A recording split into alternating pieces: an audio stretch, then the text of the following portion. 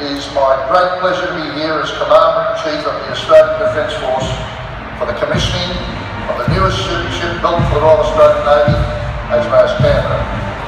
Over the last six years, many people around the world have invested a tremendous amount of time and work into constructing this mighty ship, the largest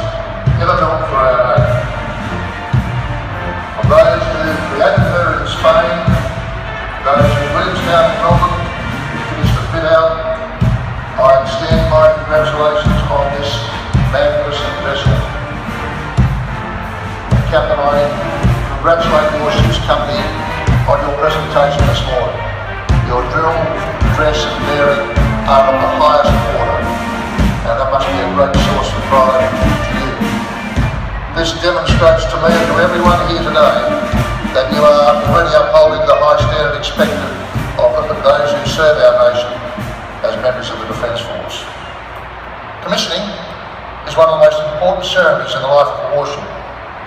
Symbolically, it marks the time when a warship becomes part of our Navy, when it is entitled to fly the iconic Australian White Ensign, when it assumes the prefix Her Majesty's Australian Ship, when it can fly its commissioning pennant.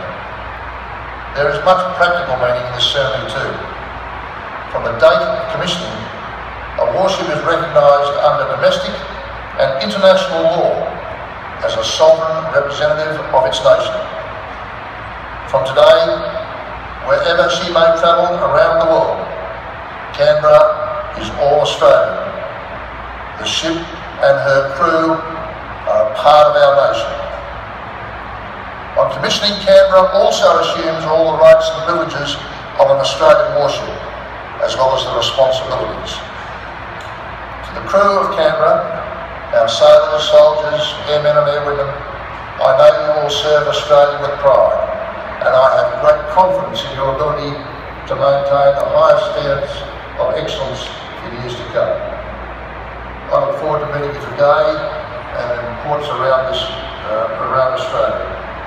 Many of us here today, including your families, who know only too well, understand that much of your work will necessarily occur away from our shores, out of sight, but never out of mind.